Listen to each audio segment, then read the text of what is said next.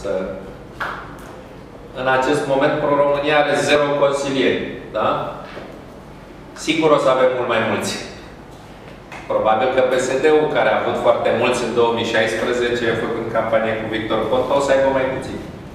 Uh, eu mă aștept să fim Consiliul Județean, Consiliul Local, în toate consiliile locale uh, și, repet, să construim niște candidați care 2020-2024 se pregătesc să câștige atunci uh, funcțiile de primar sau de președinte. E aproape imposibil, și aici mă întorc din nou, nu vreau să folosesc acest cuvânt în mod obsesiv, dar a fost un blat între PSD și PNL să rămână alegeri într-un singur tur.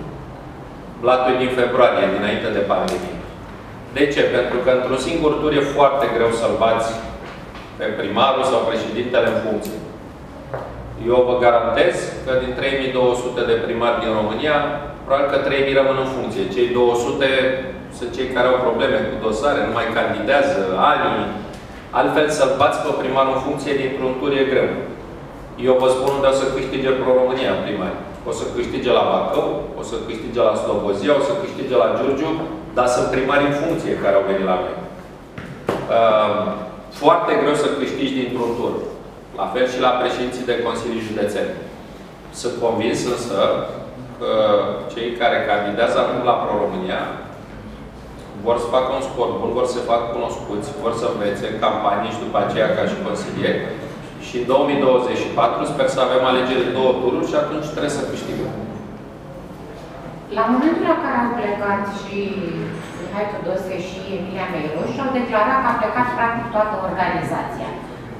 Vreau să vă întreb dacă s-a întâmplat așa sau, mă rog, a fost o declarație de imagine, ca să păi, Unul dintre ei e lângă mine și e candidat la Consiliul Județean. Dar vreau să vă explic un lucru dincolo de aceste chestiuni locale. Doamne, nu e nimeni stăpân de sclavi în România. A plecat Băsescu de la PDL și a plecat-o PDL-ul. A plecat, nici eu când am plecat din PSD, n-a plecat-o PSD-ul după mine. Gândirea asta de stăpân de sclav, toți care sunt la un partid stai mei. Și eu dacă plec din Pro-România, nu înseamnă că pleacă oamenii ăștia din Pro-România, rămân. E o gândire greșită. Uh, faptul că avem candidați peste tot, nu doar în Brăila, în țară, faptul că ne-am făcut liste este foarte greu.